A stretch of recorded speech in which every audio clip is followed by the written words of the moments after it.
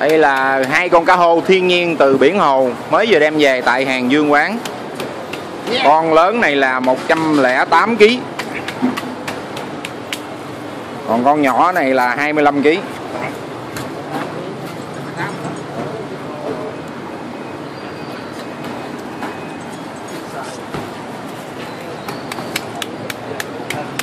hàng Dương Quán, quận 1 số 6 đường Hồ Quấn Nghiệp,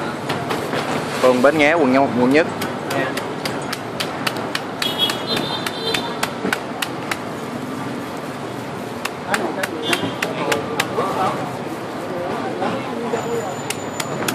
ơi ơi đừng đánh vậy hướng nguyên cái đuôi vô để như vậy thì đừng đánh cái đường.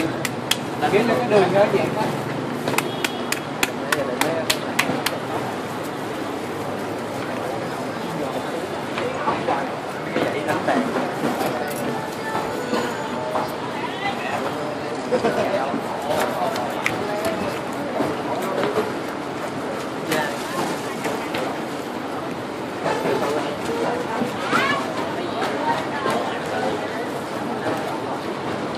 con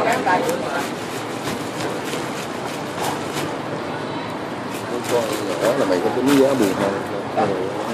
bán hai hộp bốn mươi năm